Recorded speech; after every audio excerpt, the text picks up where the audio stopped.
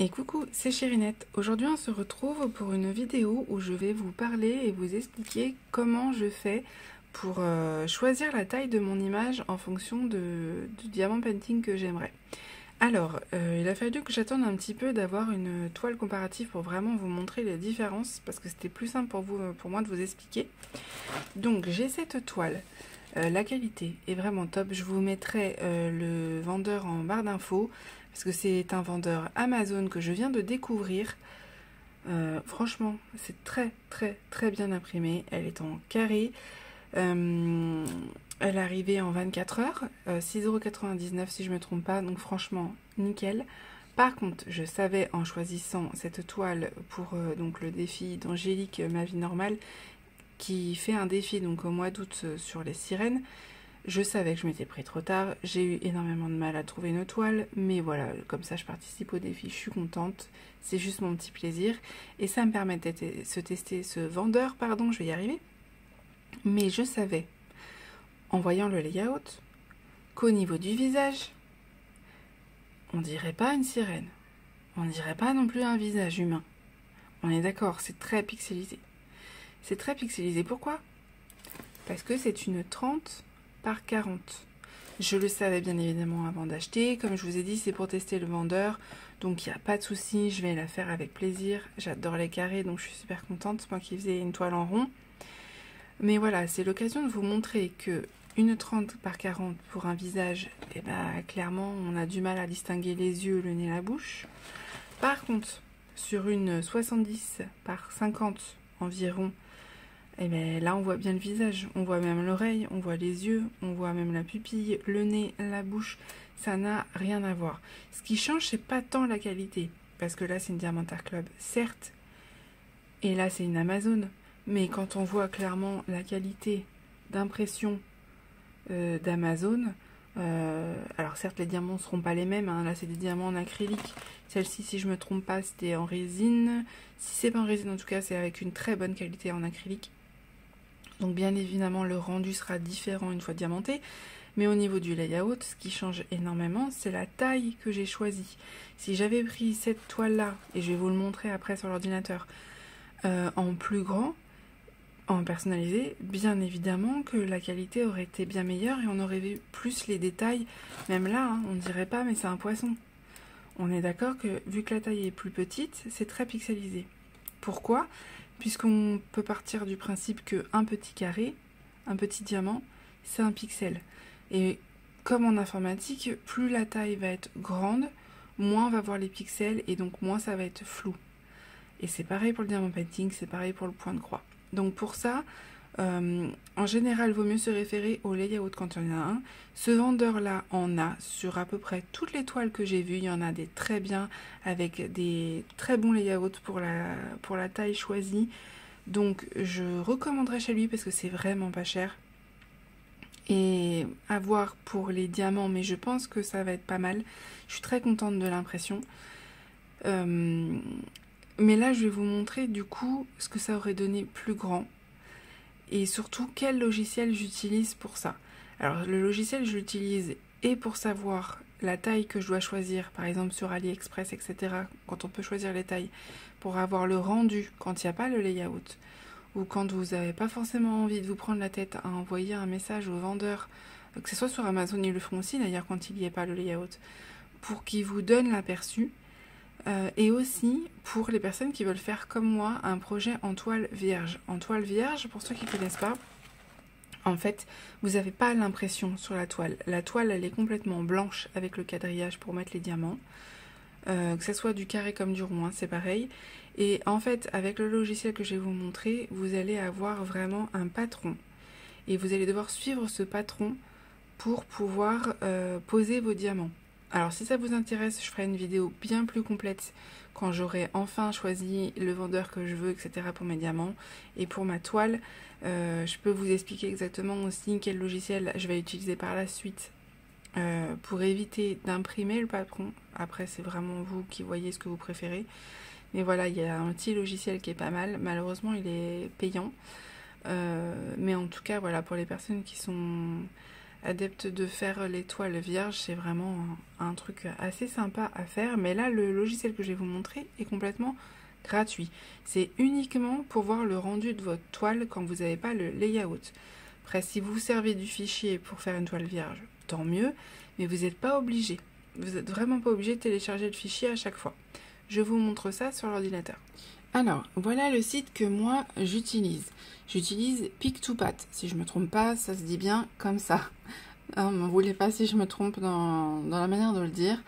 Euh, c'est un site gratuit qui est très sympa parce qu'en fait on peut choisir l'image qu'on veut et on peut transformer en toile de point de croix mais aussi en diamant painting parce que du coup euh, c'est un peu le même principe que le point de croix au final et donc du coup euh, j'utilise ça je vous mettrai en barre d'infos pour que vous puissiez facilement le trouver donc quand on ouvre on tombe là dessus on doit juste choisir notre fichier alors on va aller choisir l'image qu'on veut. Il y en a plusieurs. Vous voyez, je fais des tests en fait à chaque fois.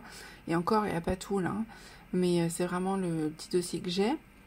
Et donc, je choisis mon image avec la sirène. Je vais sur suivant.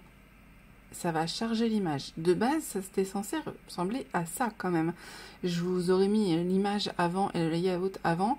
On est d'accord euh, qu'il y a quand même une grosse différence entre ça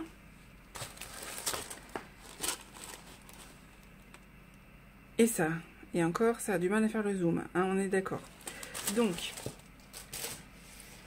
j'ai choisi mon image. Là, j'avais le layout. Donc, pour cette image-là, encore, j'aurais pas forcément eu besoin de le faire. Mais si jamais je l'avais pas eu, ou si vous avez d'autres images, c'est assez simple. Vous laissez DMC. Vous mettez en 3.9. 3.9, c'est quoi? C'est en fait c'est les points par le nombre de centimètres. C'est-à-dire que dans un centimètre, on a tendance à avoir entre 3 et 4 diamants. Donc on met 3.9 comme ça, en fait ça permet d'avoir vraiment le, bon layout. Pour la taille, en fait c'est à vous de choisir. Je vais vous montrer là en 30 par 40, vous allez voir que ça ressemble énormément au layout que, moi j'avais eu. Donc on met en 30 par 40. Euh, là, toutes les couleurs. Moi, en général, j'ai mes diamants painting, mais parce que du coup, je l'utilise pour faire aussi des toiles vierges. Mais sinon, peu importe, vous mettez toutes les couleurs et euh, il n'y aura pas de souci là-dessus. Et vous cliquez sur suivant. Ça va charger et ça va vous proposer plusieurs layouts. Les layouts, en fait, ils changent en fonction du nombre de couleurs.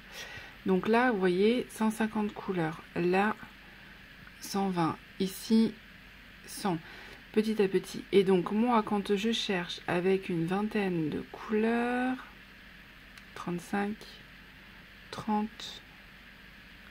25, là. Donc c'est entre celui-là et celui-là. On est d'accord que ça ressemble beaucoup au layout que j'avais. Je vais vous le remettre juste à côté. Donc forcément, je savais qu'on ne verrait pas grand-chose. En fait, les sites chinois comme ça en général, et même beaucoup, même euh, d'autres sites, utilisent en fait un logiciel. Je ne sais pas si c'est le même, en tout cas ils utilisent un, logiciel pour avoir le layout comme ça et euh, pour pouvoir imprimer après les toiles. Et donc forcément, en fait, c'est très pixelisé si on choisit une petite taille. La différence avec Diamantar Club, c'est eux, ils ont en fait une personne qui va redessiner la toile. C'est ce qui donne un peu ce côté un peu effet cartoon qu'on aime ou qu'on n'aime pas. Euh, moi personnellement c'est quelque chose que j'apprécie donc ça me dérange pas trop même si j'aime beaucoup aussi les toiles avec beaucoup de couleurs et avec aussi des, un effet plus naturel euh, par exemple au niveau des, ombrages, au niveau de la peau etc. Par contre ce qui veut dire qu'il va y avoir beaucoup de confettis. Vous, doutez bien que si j'avais choisi une toile en personnalisé en 30 par 40 avec 150 couleurs alors certes, au niveau des détails, quand on est vraiment loin, ça va. Mais par contre, on a un décor que 150 couleurs pour une 30 par 40, vous vous doutez bien qu'il va y avoir énormément, énormément de confettis. Donc voilà ce que ça aurait donné. Par contre, si je vais en arrière et que je choisis une taille plus grande, on va mettre une 53 par 70, c'est ce qui se rapproche le plus de la toile que j'avais euh, pour la Diamantar Club et la petite sorcière vous allez voir que forcément, eh bien, au niveau du rendu, c'est quand même mieux. Et encore, c'est pas parfait. Ce qui est compliqué quand on aime les toiles avec des personnages comme moi, c'est qu'il faut vraiment des grandes toiles parce que sinon c'est très pixelisé. Surtout que là, en fait, c'est vraiment pas un zoom sur le visage de la sirène, c'est vraiment, elle est dans un décor. Donc forcément, euh, elle est plus loin au niveau de l'image, donc euh, moins zoomée et forcément le rendu sera pas le même que si elle avait été très proche de l'objectif, si vous voyez ce que je veux dire. Donc voilà, donc là en 150 couleurs ça donne ça, mais si je descends, on peut choisir le nombre de couleurs toujours. Et donc si je choisis une 25 couleurs par exemple, le rendu aurait été quand même bien plus joli.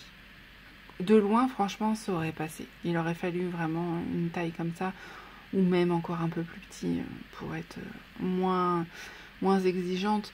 Mais forcément, vous, doutez bien qu'en 30 par 40, un personnage comme ça, euh, ça va pas. Et c'est pour ça qu'il faut faire très attention quand on choisit les images qu'on veut diamanter, que ce soit en personnalisé comme en toile normale. C'est que vous allez voir l'image, vous allez vous dire ah chouette, c'est super beau, j'ai trop hâte de le faire.